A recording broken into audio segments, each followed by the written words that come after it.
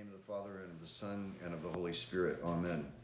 Uh, this is just kind of a follow up video that I did uh, to the previous one about the clergy that we see rising up and speaking truth and um, teaching about prophecy in the church and reading from authentic apparitions.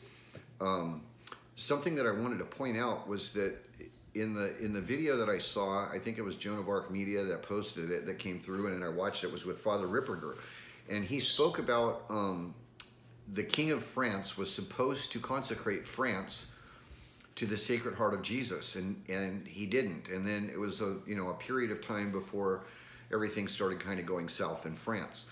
But that was one of the things that I wanted to point out in the prior video that I actually forgot to was that and I again I don't find it ironic. I don't believe in just chance. You know, we just we just finished a series on authentic prophets in the church prophesying about a French monarch king and a holy pope that leads to a period of peace in a, um, how do you say, a triumphant church.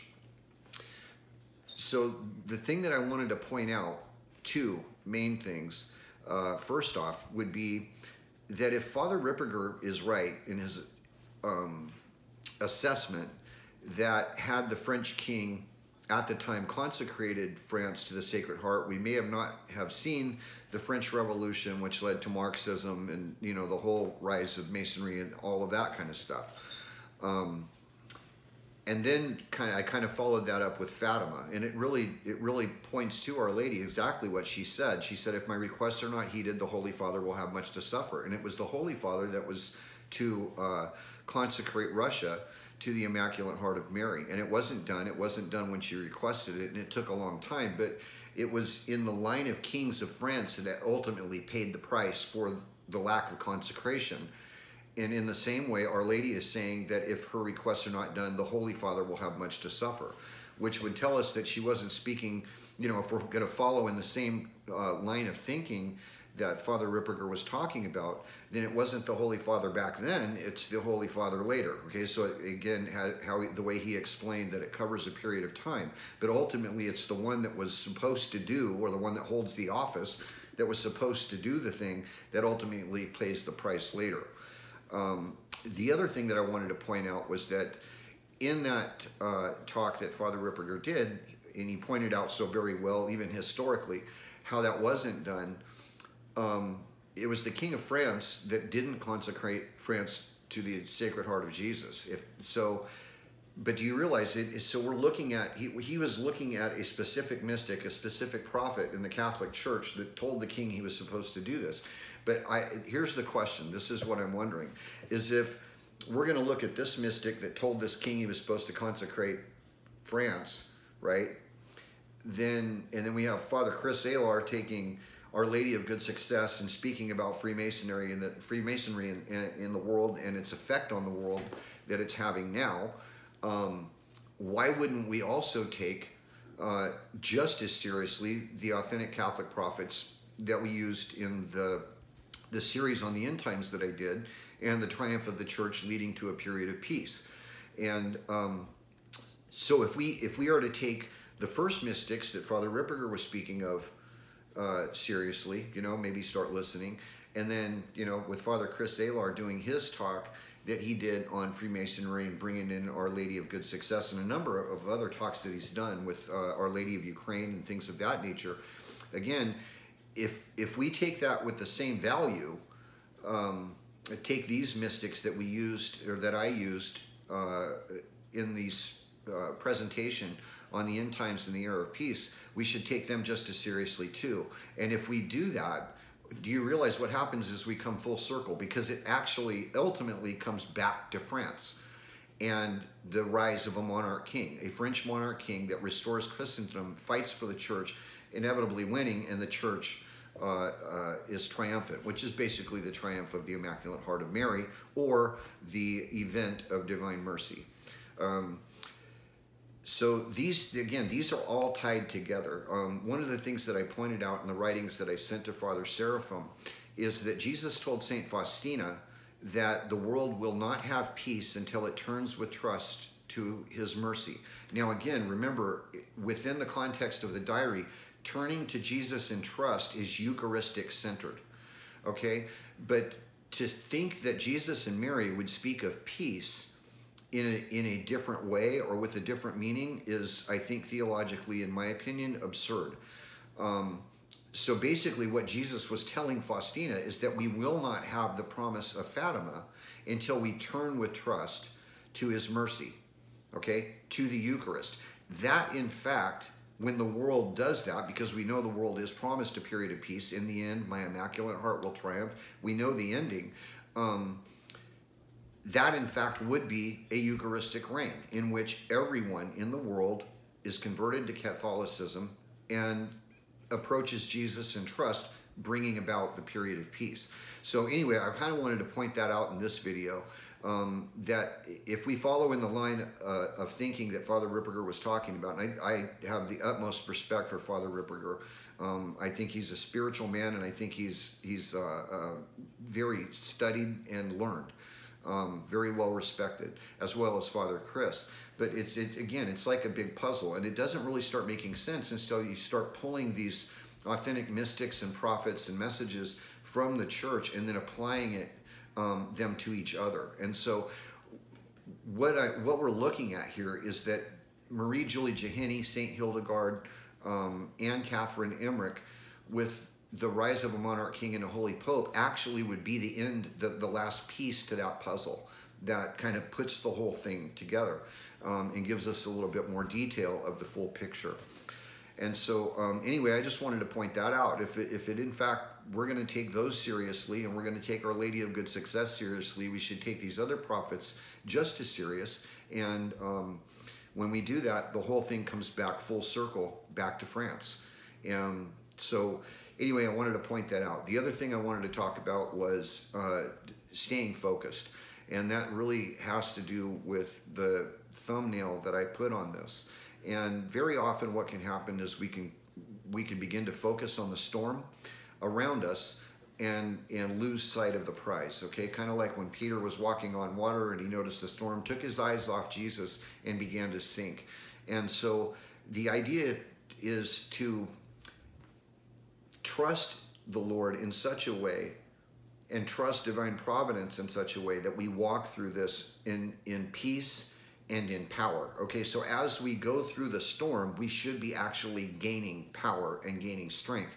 And the way to do that, the only way to do that, is to keep our eyes focused on Christ and our hearts centered on the prize, which is the crown of everlasting life. And so, um, don't let the storm get to you. You know, we we it's like I said, the Lord wants us to live. He wants us to experience Him in the here and in the now. And uh, the way to do that, it, it has to be Eucharistic centered. We have to come before the Lord um, in all humility and, and receive the Eucharist uh, in a way that is worthy of God and to stand in awe of God. You know, the fact that the storm's going on around us and the way that we see it and these things are all coming together should bring us to a, a place to where we're actually rejoicing because we're seeing the fulfillment of what the Lord spoke of and what Our Lady spoke of so long ago actually coming to fulfillment, which is a confirmation of their words, the confirmation and an affirmation of the authenticity of these messages. Um, you know, uh, Divine Mercy, Fatima, Our Lady of Good Success, um, going all the way back to the gospel and, and the Old Testament prophets. And that should give us pause. It should, it should make us stand in awe of God and his plan that he has for his holy ones. Um, that is us the church and and his priests. And so um, again, I'm going to recommend daily call upon the Holy Spirit. You know, um, ask Jesus to anoint you in the Holy Spirit, in power and in truth. And uh, the the gifts we receive at baptism and confirmation are activated in a way that it is now the Spirit operating through us um, and no longer us trying to walk by ourselves. And so it's a very, very important thing to be empowered by the Holy Spirit. And sometimes these things can get us down. Um, if I were to share a little bit of wisdom that, that I learned, um, not so much directly from uh, Father Nesbitt, but in, in, in a way that he spoke it to me, but in just watching him and how he approaches his faith, is that everything that we go through, there is something to be learned. There is something that, that we're being taught by God. And um, in the same way that the scriptures kind of refer, you know, God, the Lord says in the Old Testament, you know, could a mother abandon her child? And so it's this constant teaching, and, and it's really a way to go through life and try to understand as we go through these things or after we get through them, um, what did I learn from it? What was God trying to teach me through it? And if we're if we do that, then we come through the not only go through those things, but actually as we move through them and come out the other end, we we continue to walk in that um, in that train of thought and in that internal prayer that is constantly going on. What was God trying to show me through this? What was God teaching me through this? Um, you know, where was He present? Um, there's all G- Jesus, the Lord, our Father in heaven, is always teaching us, and it's so important to to do that. And um, it's one of the things that I learned from a from a very good priest and a very good friend is just how he approached his life. And and so things that would come up or things he would go through I, I, I know him well enough to know that he walks through life thinking about this constantly. It's a con, it's a contemplative type of prayer. And when we do that we're doing what paul commanded us to do and that's to pray without ceasing.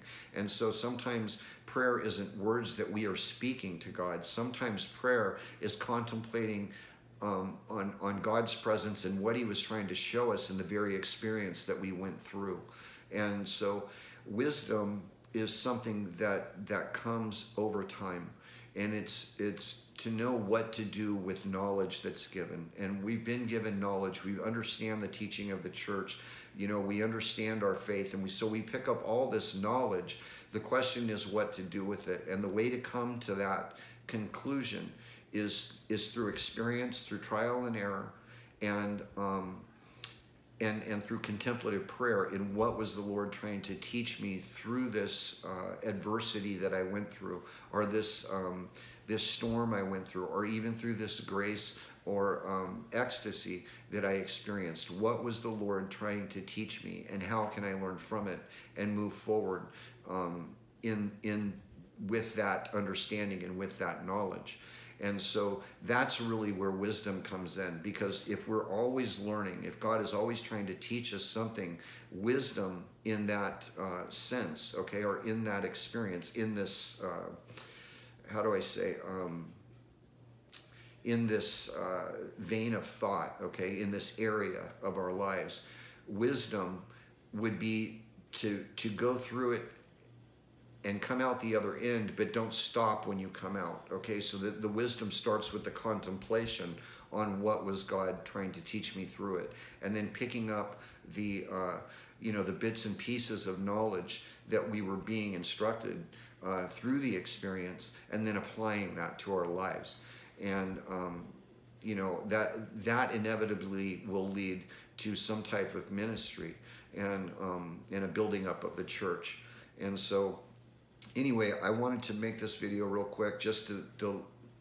kind of kind of give a different uh, view, if you will, or approach this whole thing from a different um, angle, if you will. And I'm referring to what we see going on in the world. What is the Lord trying to teach us through this? Because, you know, we're picking up information, positive information from a lot of the clergy now. We're picking up a lot of information um, negative information from the world and politics and you know things that we see happening. But the question is, what are we going to do with that information?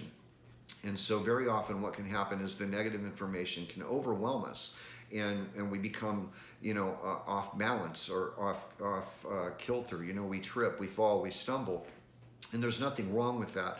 We can get back up. But the idea is to, to not focus so much on the negative um, to the point to where we miss the positive. Because if we don't listen to the positive then we're not hearing god. And that is um, inevitably the most important thing is to hear god's voice in our life. And then to apply what we've learned um, to our lives as we as we move forward contemplating those things so that's really in in that case and in that area that would be wisdom because we're picking up the knowledge now from all over the place, you know, um, bits and details of this and that and the other. The idea is to try to not only understand the knowledge that's coming in, but then to apply wisdom afterwards. And to apply wisdom is to contemplate what was God showing me through this? What have I learned from this? And how do I apply this to my life? That is something that happens on the interior. And so God speaks to every single person um, in, in a very individual way. And so it, it kind of, uh, it's different for everyone. But the idea is to try and understand um, how is God speaking to me? And then to focus and hone in on that voice with laser precision. So uh, anyway, I hope this video was helpful in the sense, like I said, it looks like, you know, some of these pieces are coming together and also, you know, just with a little bit of instruction and things that I've learned, you know, I don't, I don't really try to teach anything that I haven't learned. I'm still learning wisdom. That will be something that is ongoing for me for a long time because I have a lot of information and sometimes I have no idea what to do with it. Um, so, again, it's just a, I'm passing on something that I've learned through observation of, of a man that I know is a man of God and of strong faith. And um, we'll go through this in absolute peace because he has not taken his eye off the prize. And that's the idea. We know how it ends. We know where this goes. And in the end, what I can tell you beyond a reasonable doubt is that those who remain faithful will be more victorious in a, in a way that you cannot even possibly imagine. And so let's stay focused and keep our eyes and our hearts and our souls and our minds on the prize. And that is the crown of everlasting life for those who love God. And to love God is to keep his commandments and to love our neighbor. May God bless you. May he keep you. May he cause his face to shine upon you. And may he grant you his peace. In the name of the Father, and of the Son, and of the Holy Spirit. Amen.